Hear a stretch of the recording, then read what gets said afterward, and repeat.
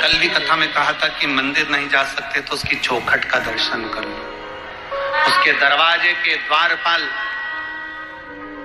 वीरभद्र, मणिभद्र और उसके चौखट पर बेटी है भाग्य देवी शिव महापुराण की कथा कहती है, जो शंकर भगवान के आप कभी अगर मौका लगे तो प्रयास करा करो कि शंकर के शिवालय में जब आप प्रवेश करें, शंकर भगवान के शिवालय में जब आप जल चढ़ाने के लिए जाएँ तो वहाँ जो मुख्य जो गर्भगृह की जो चौखट होती है, गर्भगृह की जो चौखट होती है, प्रयास करना चाहिए कि उस गर्भगृह की चौखट को प्रणाम करना चाहिए।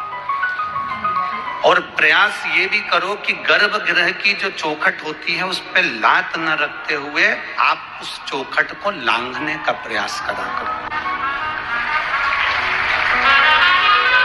चौखट को लांघ। गर्भगृह की चौखट को प्रणाम।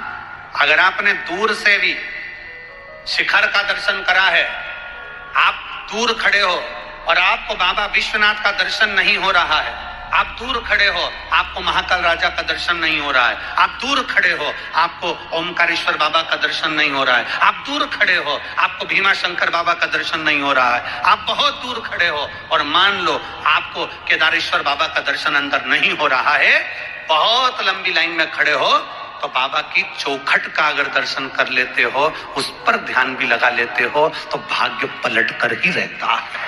भाग्य पलटता ही है।